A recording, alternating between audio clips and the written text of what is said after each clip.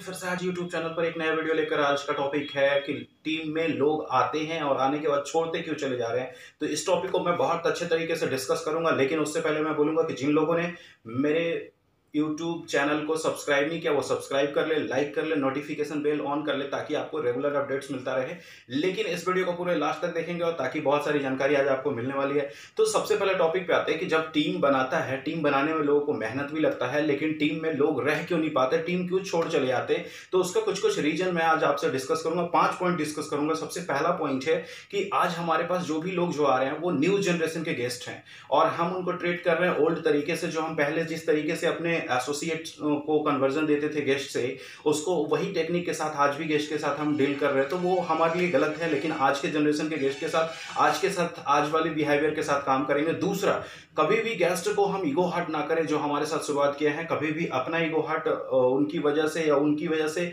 आपका ईगो हट या उनका ईगो हट नहीं होना चाहिए। ईगो का भी ख्याल रखना चाहिए। तीसरा जो अहम मुद्दा है, वो ये मुद्दा है कि हम बेसिक ट्रेनिंग नहीं दे पा रहे उन लोगों को जो आज हमारे इस बिज़नेस में आ रहे हैं। बेसिक ट्रेनिंग बहुत ज़रूरी है, क्योंकि जिस दिन आप उनको ज्वाइन कराते हैं ज्वाइन करा के बिज़नेस के अंदर में लाते हैं, आप उसी के चौबीस घंटों के बाद आप बेसिक ट्रेनिंग शुरू करते हैं और बेसिक ट्रेनिंग उनको क्लियर करें, क्योंकि बेसिक ट्रेनिंग जब उनको मिलता है तो उससे उनकी सारी चीज़ें, सारा कॉन्सेप्ट जो नेटवर्क मार्केटिंग को लेकर जो सपना होता है, जो वो संजोए होते हैं, वो पूरा करते हैं और वो पूरा नहीं होने की वजह से भी लोग छोड़ते हैं। चौथा जो अहम मुद्दा है छोड़ने का, वो है कि आज के लोगों का बेसिक कॉन्सेप्ट क्लियर नहीं होता विजन क्लियर नहीं होता नेटवर्क मार्केटिंग के, लोग दूसरे को देखकर लोग होड़ में शुरू कर देते हैं। लोग अपने दोस्तों को एक चेक, दो चेक, चार चेक, छोटी सी अचीवमेंट बड़ी सी अचीवमेंट लेने के बाद शुरुआत कर देते हैं साथ में देख के। इसलिए ज़रूरी है कि जिस भी लोगों को नेटवर्क मार्केटिंग में आप लाएँ, उनका विजन क्लियर करें कि नेटवर्क मार्केटिंग क्या है। नेटवर्क मार्केटिंग कोई ऐसी कॉन्सेप्ट नहीं है कि रातों रात आप अमीर हो जाएँगे, आपको थोड़ा टिकना होगा, आपको धैर्य रखना होगा, आपको पेशेंस से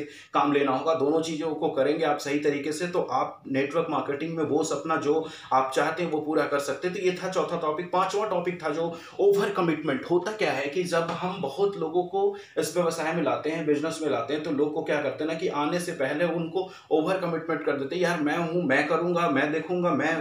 सब आपका जितना कुछ है, वो सब कुछ आप खुद लेकर ओवर कमिटमेंट कर देते हैं। तो ये पाँच टॉपिक ऐसे टॉपिक है, जो अहम टॉपिक है, जो शायद लोग समझते नहीं है, सोचते कि मैंने तो ऐसा कोई गलती ही नहीं किया जिससे कि ये सारी चीज़ों को देखना पड़े। पाँच टॉपिक अहम टॉपिक जो मैं बता रहा हूँ ईगो हट कभी मत करे गेस्ट का, जिसको आपने बिज़नेस के अंदर में लाया दूसरा, कभी भी गेस्ट जो है, आज वो न्यू जनरेशन के गेस्ट हैं, आप उनके साथ बिहेवियर न्यू जनरेशन वाली करिए। तीसरा बेसिक कॉन्सेप्ट उनका हमेशा क्लियर करिए और बेसिक ट्रेनिंग उनका पूरा करिए। ज़रूरी है ये काम आप करेंगे। चौथा जो चीज़ मैंने बताया, उनका विजन क्लियर करिए। विजन जब क्लियर होगा, और पांचवा ओवर कमिटमेंट कभी भी मत करिए अपने गेस्टों के साथ। ये पाँच गलती आप नहीं करें। आपके टीम के जो लोग जा रहे हैं, वो जाना बंद हो जाएगा और आपके टीम के अंदर में स्टेबिलिटी आना शुरू हो जाएगा और आप ये करके देखें। और जिनको भी इस इस पाँच चीज़ों से फ़ायदा मिलता है, वो कमेंट के अंदर में कमेंट करें और मुझे बताएँ कि वाकई में ये पाँच वो चीज़ है जो हम गलती कर रहे थे और आगे से गलती नहीं करेंगे। और जैसे कि आप इस आ, मतलब टीम के अंदर में जितने भी लोग जो जा रहे हैं वो आपके साथ टिक सके और कर सके। ये मेरा अपना पर्सनल एक्सपीरियंस था जो मैंने आपसे शेयर किया अभी तक इस वीडियो के अंदर में।